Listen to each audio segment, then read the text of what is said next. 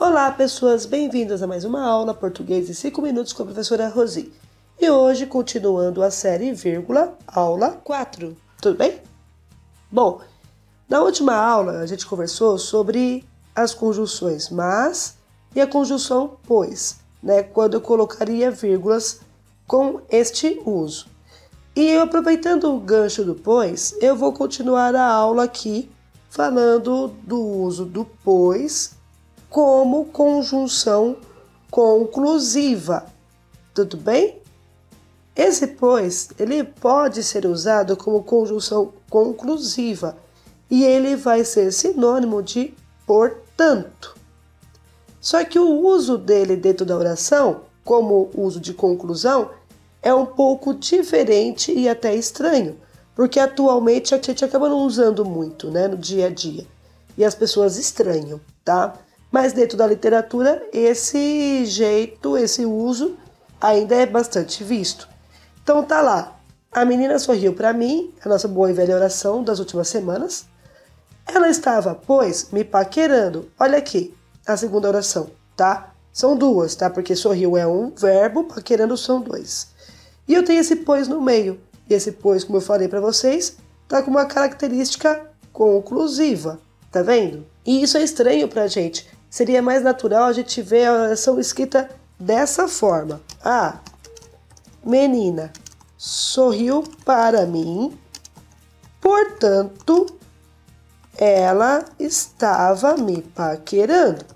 Veja bem, aqui foi mais natural, tá vendo? Porque eu coloquei a conjunção conclusiva na frente.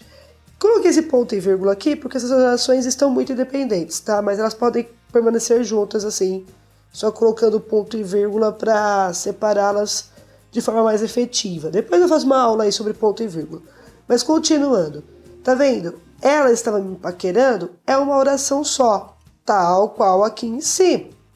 Só que o que acontece? Esse pois, ele acabou entrando aí na oração e ele intercala, tá vendo? A oração. Olha lá, ela está me paquerando. Olha o pois aqui, tchu, tchu, tchu.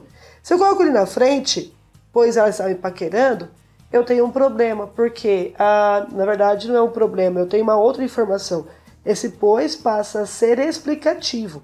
E no caso, do jeitinho que está colocado aqui, depois do verbo, né? Intercalando a oração, ele passa a ter a mesma função de portanto. Inclusive, se você colocasse portanto lá em cima, não ficaria tão estranho assim, ó. Ela estava, portanto, me paquerando. Também era compreensível, tá vendo? Só que aí preferiu-se usar o pois. Justamente por ele estar intercalando a oração, é que ele vai ter duas vírgulas. Entenderam? Então, essas duas vírgulas aí, desse pois, tá por conta disso, de novamente intercalar alguma coisa. Eu já comentei para vocês, é um uso um tanto literário, mas ele existe tudo bem? E então, para você usar no dia a dia de forma um pouco mais tranquila, se você não gostar, se você tiver um preconceito aí, você usa portanto. O portanto, você pode colocar tanto no mesmo lugar do pois ou antes, e você coloca uma vírgulazinha aqui. A gramática sugere que você coloque uma vírgula. Outro elemento que também é conclusivo, gente, é o logo. Vou até usar a mesma oração, ó. Então ela está me paquerando. Só que eu vou tirar o pois daqui para não confundir, tá? Então lá, Deixa eu colocar aqui para vocês. E aqui eu posso usar o logo. Olha só que bacaninha. Logo, vírgula, ela estava me paquerando. Esse logo, como conjunção conclusiva, também é colocado entre vírgulas. Por quê? Porque a palavra logo também pode ser tempo. Por exemplo, a menina sorriu logo para mim ela estava me paquerando. Ai, me paquerando logo não ficou bom esse exemplo, né? É, eu acho que não. É melhor usar o anterior mesmo. Ela sorriu, então põe o logo para mim aqui. Então esse logo para mim dá uma impressão de tempo, mas ele também pode ser usado como conclusivo, né, como conjunção.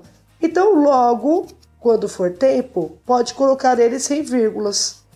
Quando for para dar esse sinal de conjunção conclusiva, é melhor colocar entre vírgulas. Ou começar uma oração e colocar a vírgula depois dele, para acabar, para eliminar qualquer tipo de ambiguidade com o logo de tempo. Tudo bem? Bom, por enquanto é só. Espero que tenha ajudado. Até breve.